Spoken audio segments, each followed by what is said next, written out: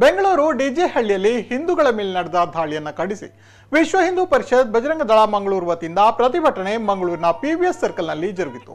ಫೇಸ್ಬುಕ್ಕಿನಲ್ಲಿ ಪೈಗಂಬರ ವಿರುದ್ಧ ಅವಹೇಳನಕಾರಿಯಾಗಿ ಬರೆದ ಹಿನ್ನೆಲೆಯಲ್ಲಿ ಬೆಂಗಳೂರಿನ ಡಿಜೆಹಳ್ಳಿಯಲ್ಲಿ ಮತಾಂಧ ಶಕ್ತಿಗಳು ಶಾಸಕರ ಮನೆ ಮೇಲೆ ದಾಳಿ, ಮನೆಗೆ ಬೆಂಕಿ ಮತ್ತು ಪೊಲೀಸರ ಮೇಲೆ ದಾಳಿ, ಪತ್ರಕರ್ತರ ಮೇಲೆ ದಾಳಿ ಹಿನ್ನೆಲೆಯಲ್ಲಿ ಮಂಗಳೂರಿನಲ್ಲಿ ವಿಶ್ವ ಹಿಂದೂ ಪರಿಷತ್ ಮತ್ತು ಬಜರಂಗ ದಳ ವತಿಯಿಂದ ನಗರದ ಪಿವಿಎಸ್ ವೃತ್ತದ ಬಳಿ ಬೃಹತ್ ಪ್ರತಿಭಟನೆಯನ್ನ ಹಮ್ಮಿಕೊಳ್ಳಲಾಗಿತ್ತು. ಪ್ರತಿಭಟನೆಯಲ್ಲಿ ಶರಣ್ ಪಂಪೇಲ್ ಶಿವಾನಂದ ಮೆಂಡನ್, ಎಂಬಿ ಪುರಾಣಿಕ್ ಮೊದಲಾದವರು ಭಾಗವಹಿಸಿದರು. ಪಿಎಫ್ಐ ಎಸ್ಡಿಪಿಐ ವಿರುದ್ಧ ಧಿಕ್ಕಾರ ಕೂಗಿ ಆಕ್ರೋಶವನ್ನ ಪ್ರತಿಭಟನಾಕಾರರು ವ್ಯಕ್ತಪಡಿಸಿದರು. ಈ ಸಂದರ್ಭದಲ್ಲಿ ಮಾತನಾಡಿದ ಹಿಂದೂ ಮುಖಂಡ ಶರಣ್ ಪಂಪೇಲ್ ಎಸ್ಡಿಪಿಐ ಮತ್ತು ಇತರ ಸಂಘಟನೆಗಳನ್ನು ಬ್ಯಾನ್ ಮಾಡಬೇಕು ಶಾಸಕರ ಮನೆಗೆ ಬೆಂಕಿ ಹಚ್ಚಿದ ಪತ್ರಕರ್ತರು ಮತ್ತು ಪೊಲೀಸರ ಮೇಲೆ ಹಲ್ಲೆ ಮಾಡಿದ ಮತಾಂಧರನ್ನ ಬಂಧಿಸಬೇಕು ಎಂದು ಆಗ್ರಹಿಸಿದರು. ಪೊಲೀಸ್ ವಿರೋಧಿ ಪಿಎಫ್ಐಗೆ. ಹಿಂದೂ ವಿರೋಧಿ ಪಿಎಫ್ಐಗೆ. ದೇಶ ವಿರೋಧಿ ಎಸ್ಡಿಪಿಐಗೆ ಪೊಲೀಸ್ ವಿರೋಧಿ ಎಸ್ಡಿಪಿಐಗೆ ಸಮಾಜಘಾತುಕ ಎಸ್ಡಿಪಿಐಗೆ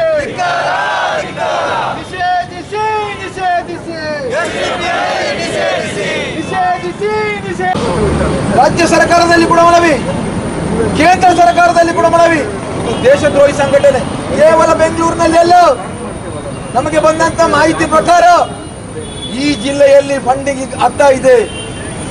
ಹಣ ಕಲೆಕ್ಟ್ ಮಾಡ್ತಾ ಇದ್ದಾರೆ. ಯಾಕೆ ಸ್ವಾಮಿ, ಹಣ- ಕಲೆಕ್ಟ್ ಮಾಡ್ತಾ ಇದ್ದಾರೆ?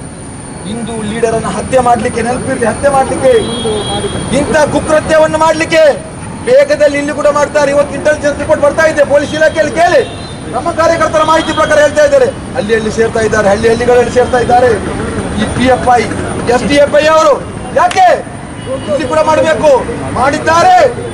ಕೇವಲ ಎನ್ ಆರ್ ಸಿ ಬಗ್ಗೆ ಏನೆಲ್ಲ ಮಾಡಿದ್ರು ಇವರು? ಮೊದಲಿಗೆ ಮಾಡುವ ಕೆಲಸ ಸ್ಟೇಷನ್ಗೆ ಬೆಂಕಿ ಹಚ್ಚುವುದು. ಪೊಲೀಸರನ್ನು ಕೊಲೆ ಮಾಡುವುದು.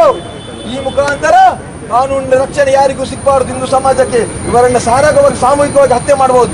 ಈ ಷಡ್ಯಂತ್ರ ನಡೀತಾ ಇದೆ.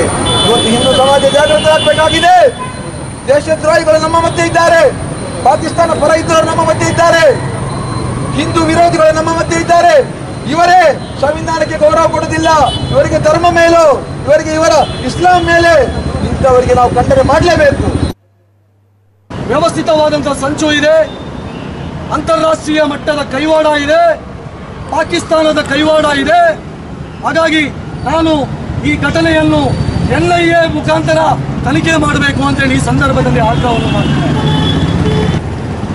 ಬೆಂಗಳೂರು ಘಟನೆಯಲ್ಲಿ ಎಷ್ಟು ಆಸ್ತಿ ಪಾಸ್ತಿ ನಷ್ಟ ಆಗಿದೆ, ಅದು ಮನೆ ಇರ್ಬೋದು, ವಾಹನ ಇರ್ಬೋದು, ಪೊಲೀಸ್ ಜೀಪ್ ಇರ್ಬೋದು, ಅಥವಾ ಯಾರ್ಯಾರ ಮೇಲೆ ಹಲ್ಲೆ ಆಗಿದವರೆಲ್ಲ ಆಸ್ಪತ್ರೆಯಲ್ಲಿ ಇದ್ದಾರೆ ಅವರೆಲ್ಲ ಖರ್ಚುಗಳು ಇರ್ಬೋದು ಇದನ್ನೆಲ್ಲವನ್ನು ಯಾರು ಆರೋಪಿಗಳಿದ್ದಾರೆ, ಯಾರು ಈ ಘಟನೆಯನ್ನು ಮಾಡಿದ್ದಾರೆ, ಅವರಿಂದ ವಸೂಲು ಮಾಡಬೇಕು ಅಂತೇಳಿ ನಾನು ಸರ್ಕಾರಕ್ಕೆ ಆಗ್ರಹವನ್ನು ಮಾಡ್ತೇನೆ.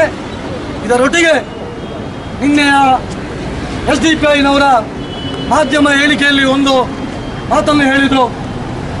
ಅಲ್ಲಿ ಮೂರು ಜನರ ಗೋಲಿಬಾರಿಂದ ಮೃತಪಟ್ಟಿದ್ದಾರೆ. ಅವರಿಗೆ ಪರಿಹಾರವನ್ನು ಕೊಡಬೇಕು ಅಂತೇಳಿ ಎಸ್ ಡಿ ಪಿ ಐ ಸರ್ಕಾರಕ್ಕೆ ಆಗ್ರಹ ಮಾಡ್ತಿ ಮಾಡಿದೆ.